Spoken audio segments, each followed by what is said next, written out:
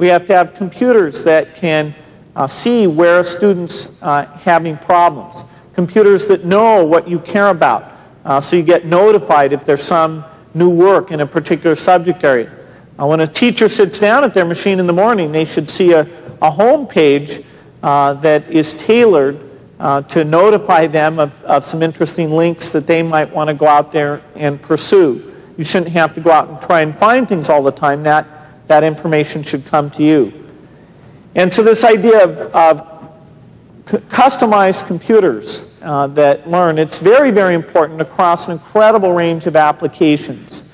Um, and one of these, of course, is the idea of customizing the learning experience uh, and responding uh, with targeted instruction.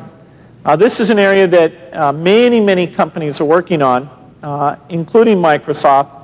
Uh, and I thought I'd, I'd, show you an example of some of the work going on here. the best way to do that, I thought, was to have a teacher who's really helping us out explore what this can mean, come and, and show you what she's doing on how it's working for her. Uh, so I'd like to ask Colleen Dixon, uh, who's a, a, teacher and technology coordinator at Endeavor Elementary School in Issaquah, to come out and uh, show me the, uh, what she's doing with this technology. Hi, Colleen. Hi. Would you care to join me? I sit here.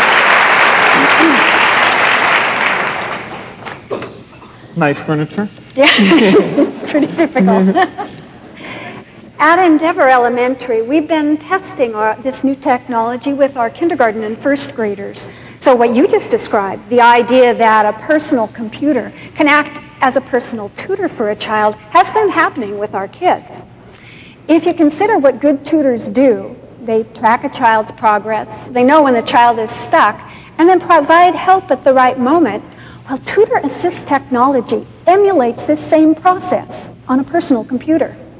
Tutor Assist is able to track a child's progress. It recognizes when the child needs help with a concept, and then it offers a multimedia tutorial to help the child understand the concept. I'd like to show you how Tutor Assist might help a child who's working on single-digit subtraction facts. The child might play this bingo-like game that helps with math practice. The problems will appear in the lower right corner of the screen under the hotel sign. Now, if the child's uh, solving the problems correctly, Tutor Assist would know that, and the child would just keep playing. But if the child was making errors as they played,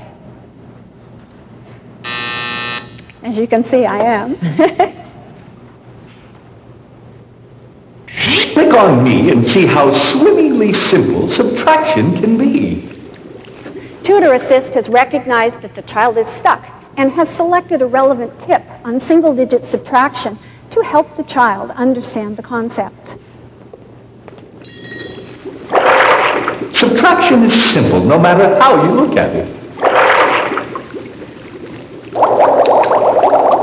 Here are seven fish, all in one group. Five swim over to eat. To see how many are left, subtract five from seven which equals two. There are two. Now the tip will show it another way. Subtraction problem. Six minus two. When subtracting, start with the larger number and count backwards. We'll start from six and count backwards two more numbers. Six. Five. Four. That's it. Stop right there. 6 minus 2 equals 4. Four fish are left. The professor, acting as the child's personal tutor, has just given a short explanation of the idea behind subtraction. The tutorial was shown both as a manipulative exercise and a number line example to help different learners, and now the child's offered the opportunity to practice. Click on the number of fish you need to subtract and drag each one to the other side of the tank. Click the white coral when you're done. Once the child understands the concept, they can go right back to the game and keep playing. Unlike most learning software my kids have worked with, Tutor Assist responds to the child. This is a very exciting concept, and I'm looking forward to the learning tools this new technology will bring to our kids. Thank you. That looks great. Thank you.